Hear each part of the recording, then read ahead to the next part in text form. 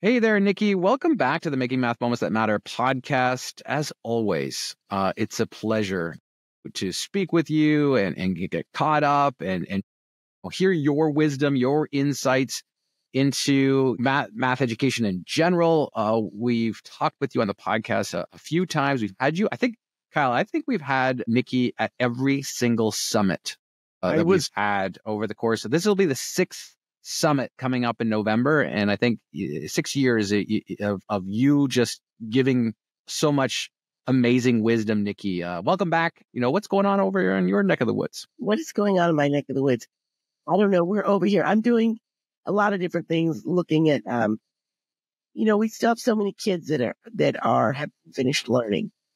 Mm-hmm. Really looking and thinking about like, how do we catch kids up with their basic math? Right? How do we catch kids up with problem solving? I'm always telling schools, you want to move your scores? Do two things. Work on making sure all your kids have their grade level fluency, at least, and work on problem solving always. Mm-hmm. So I've been doing a lot of thinking. I just wrote a book on fluency doesn't just happen looking at multiplication and division with Alison Mello and um, Ann Elise Record. I love this right off the hop. You're giving people something big to chew on here, and and we couldn't we couldn't agree more with the idea that if students are not numerate, you know, if they are not fluent and flexible with number, with basic facts, that's addition, subtraction, multiplication, division, and understanding the behaviors of these operations it really does hinder their ability to do anything else, right? Because everything else is going to build off of those things. And I love how you've also articulated that problem solving is kind of why we want those tools, right? So it's not an either or, right? Because some people might push, you know, that, hey, we're going to do all these one, these things and we're not going to do some of that stuff. But really, they go hand in hand and they're very, very important. So I'm super excited to dig in with you and actually, Jon, we're going to have to go back and we're going to have to count up the episodes because I think Nikki might actually be approaching James Tanton for Ooh. one of our guests who's come on the show most. So we're going to have to get back to you on that. We should have done that ahead of this call, but I'm I'm super curious about it.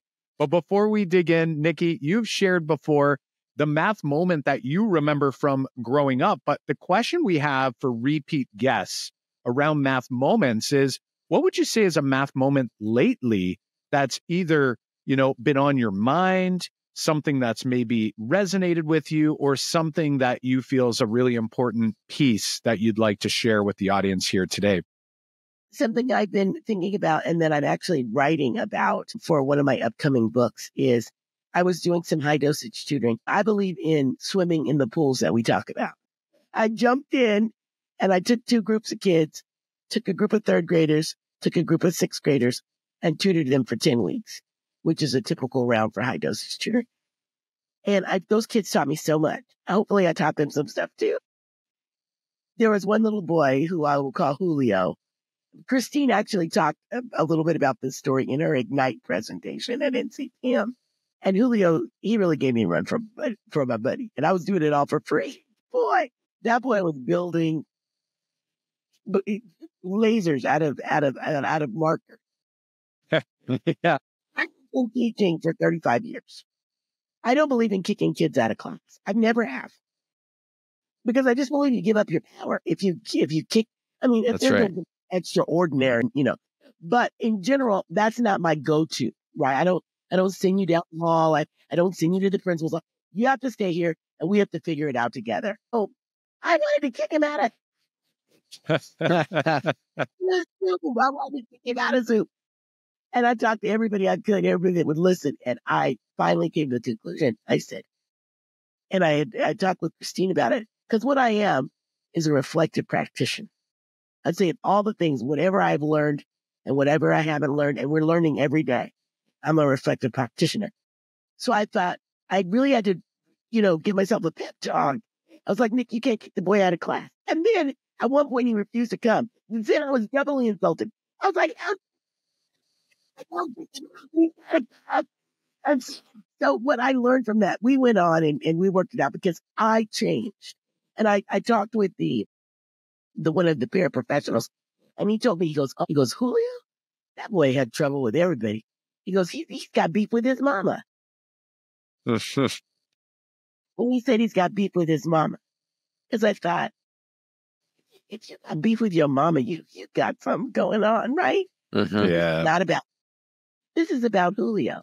This is about me reaching into my teacher toolkit, way deep down into my bag, and pulling out whatever I need, stretching my own pedagogy so that I can reach Julio. Because the reason I'm even here is because Julio is here. I can't kick Mhm. the reason here out of Yeah. So what it taught me was about building relationships and reaching those kids that are easy to kick out, right? By the end, I, I spent 10 weeks with Mr. Julio and I knew I kept a journal on it. It was that impactful for me. I kept journal on it. And then at the very end, I kept, kept putting postscripts.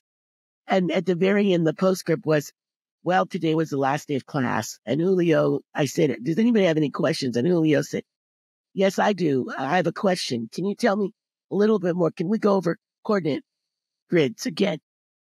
And I thought, got him. I got it. Right? You got him.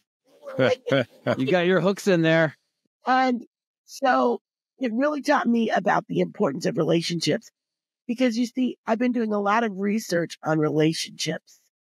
I don't care what you know and kids don't care what you know until you care. And, and so I don't care what you're trying to teach kids, multiplication, division, addition, subtraction, or problem solving. If, if they don't think you care, they're going to show up as who they are. Julio didn't wake up and say, I'm going to go to session so I can lay on Dr. Nikki's nerves because that boy didn't get on my nerves. He laid on my nerves and did advanced yoga moves. Really, what does this mean? This, what is this thing we call teaching? And I've been talking about this now for a couple of years and people have been talking about it for, you know, ad infinitum that the idea that teaching is about relationships. And if you don't have the relationships, you have nothing, right? That they talk in the research on map intervention. They say we actually should have a space for relationships and be, Mhm. and do relationship mapping. Like who does this kid have a relationship with? Yeah. right? The great Rita Pierson said everybody needs a champion. Who is Julio's champion? And how am I going to show up for him in a different way? Because at first I was wrong. I was showing up as every other adult does in his life. Everybody's mad at Julio. And I was just showing up as, you know, he was doing stupid stuff and I was mad about it. But then I, because I realized if I didn't change, I was never going to reach Julio. And it's Yeah. about reaching Julio and all of those kids. Because the thing is, I was teaching ratios and unit rate and Julio cannot divide. He cannot multiply. So I had to accelerate and not go back and remediate and talk about stuff he was supposed to have learned and all these other grades. I had to accelerate, pull up what he needed for his grade level standard. Because that's one of the things that I truly believe in that I'll talk about in the session. All kids deserve to be taught the grade level standard. And this, Mhm.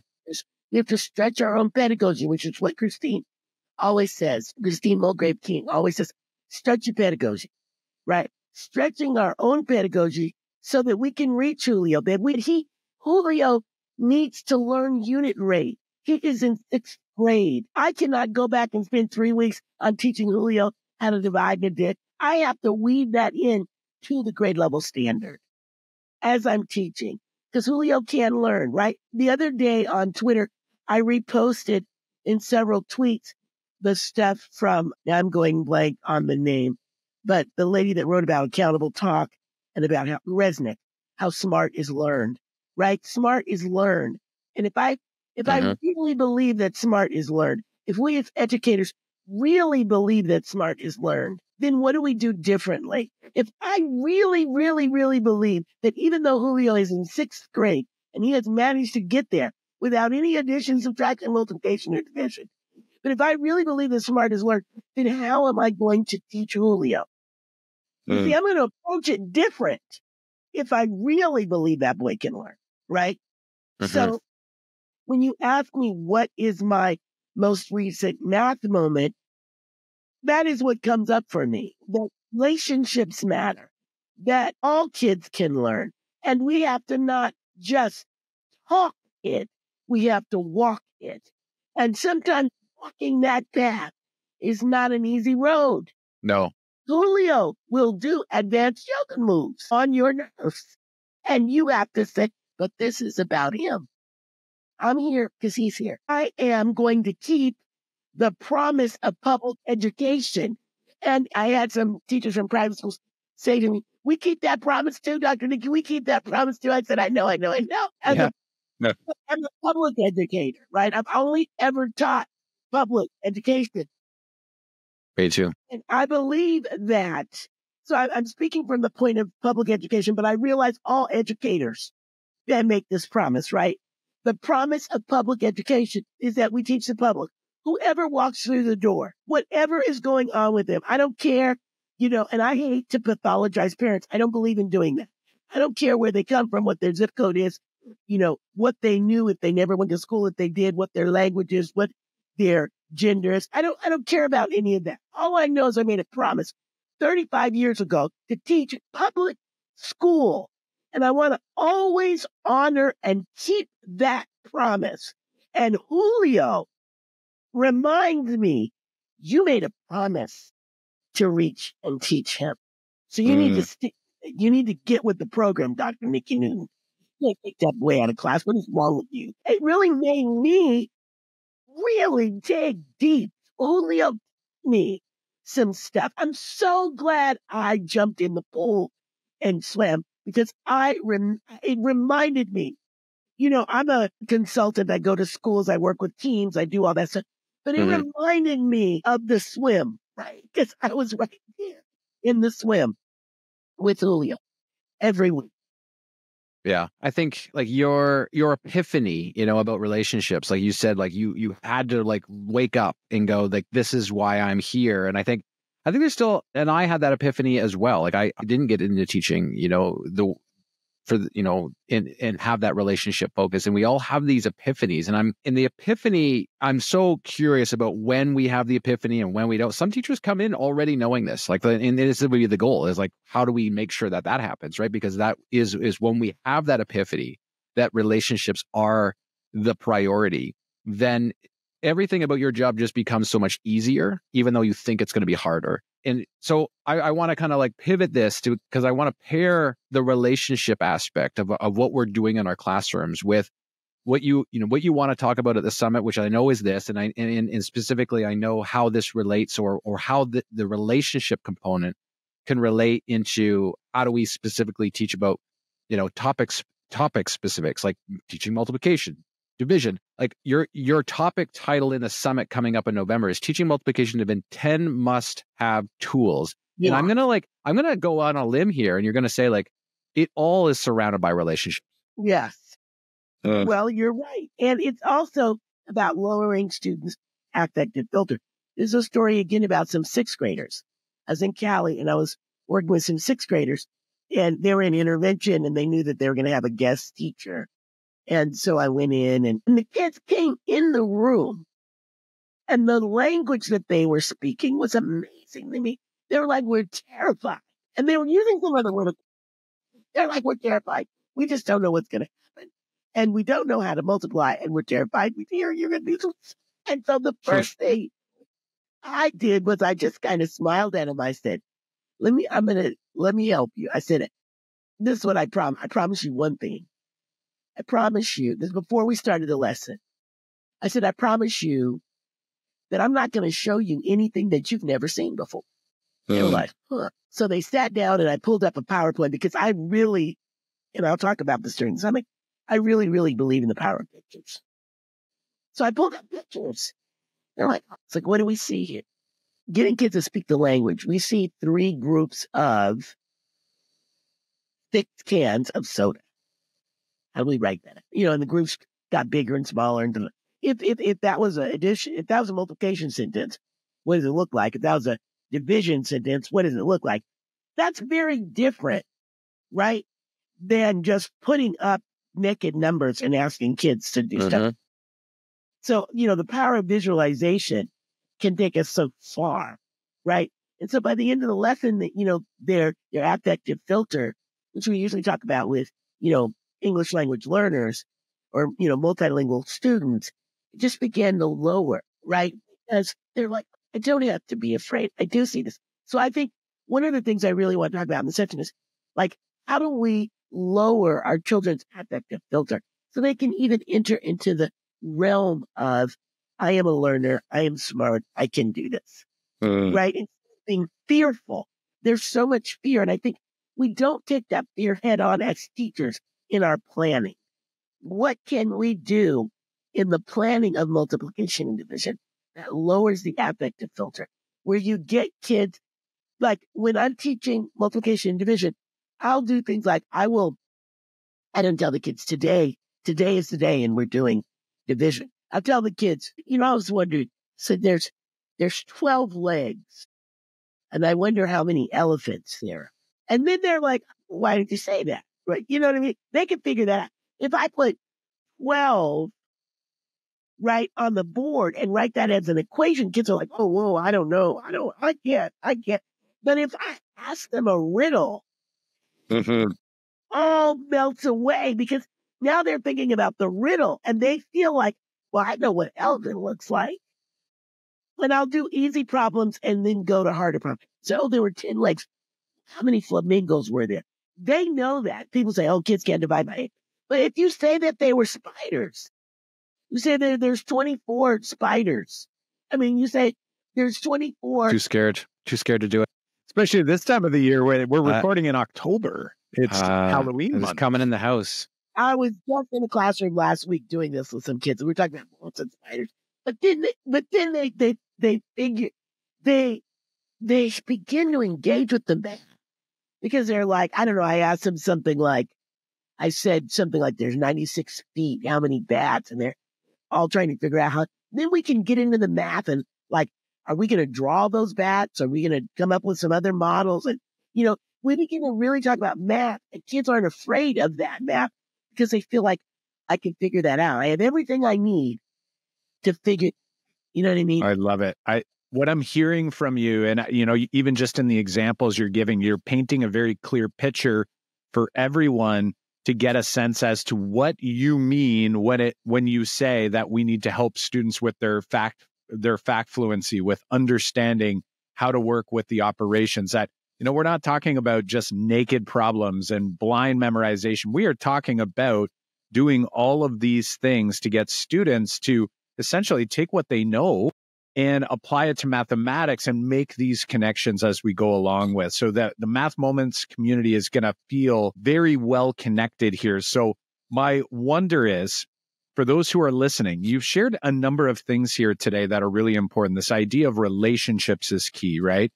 Yeah. This this idea of fact fluency being so important and problem solving because folks are going to be signing up for your summit session on teaching multiplication and division. And you've even mentioned 10 must have tools. What would you say would be the big takeaway you're hoping that those participants receive when they join you for our summit session coming up in November? Well, I want people, first of all, I, you know, and you all know this, I want everybody to fall in love with the beaded number line. Um, mm-hmm. Um, and then I also would like people to really reconsider the usefulness of the 10 row rekenrek for multiplication and division. And, and I would also, I'm going to sprinkle, just sprinkle the conversation with, uh, some things about Montessori. Cause the see, Ooh, talk, the, talk on my game. I, I just don't understand like in public school, we have made a very severe distinction. That's Montessori and this isn't. And if look at what we're doing, the that's Montessori stuff, the kids understand. Right. Dividing four digit numbers with reasoning and the fourth graders are like, what? Because totally. Sorry, folks have place value. Mm-hmm. You don't mm-hmm. do anything else in Montessori, you learn place value. And I think you do a lot of other things, but also they have the addition, subtraction, multiplication, and division game wrapped up, right? The tables that you use, the, So I just want to sprinkle that in, get people to kind of think. Can't wait. What does it mean if we dare use any of those Montessori tools? Mm. Yeah, you, know what? You you just spoke music to Mrs. Orr's ears. Mrs. Orr is a is a Montessori trained educator and my goodness, been doing it for twenty something years. So so I'm going to tell her to come to your session and say, get in there and get in there and listen to Dr. Nikki because she would just be, she's going to join right in probably. Yeah. She's going to want to know all that. D- Dr. Nikki, it's always uh, a pleasure talking with you. And I, and I know that this was too short and people listening right now is like, just, just keep, keep going. Just keep going. We're not ready to turn this off yet. We're to bring, uh, we're to bring her back on. We're to talk about guided tutoring, tutoring and, uh, and some of the other things that, uh, are you're passionate about, but in November, if you are listening to this right now, November 15th, 16th, 17th, you can catch Dr. Nikki live in her session on multiplication and division and 10 must tools. Head on over to summit.makemathmoments.com oh, yeah. and uh, get yourself registered right now. It's completely free, completely free for the weekend. Uh, and uh, you could you can join us and amongst many other sessions throughout the weekend. Nikki, thanks so much. We appreciate you and, and appreciate the the wisdom you bring to the community. Oh well, thank you. It's an honor to be invited to participate. Thanks, Nikki. Okay, bye.